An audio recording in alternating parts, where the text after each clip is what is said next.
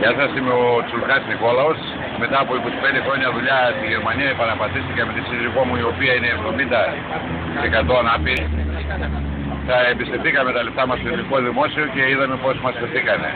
Τους καταδικάζω, είναι κλέφτες, είναι ψεύτες, είναι απαταιώνες. Αυτά μόνο έχω να πω.